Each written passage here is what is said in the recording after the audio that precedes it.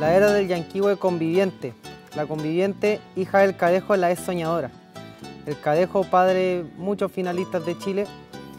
Y la es soñadora, hija del espejismo en la parrillada. Recordemos la parrillada, madre del innumerable veces finalista de Chile, Buen Viejo. Santa Elba Buen Viejo. Y el espejismo propio hermano del espejo. Bajo el sol de un sentimiento,